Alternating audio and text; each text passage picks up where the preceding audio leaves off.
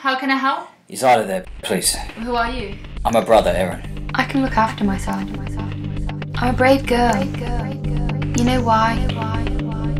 Because I know you'll always be there for me. And you won't let anything happen to me. You innovate!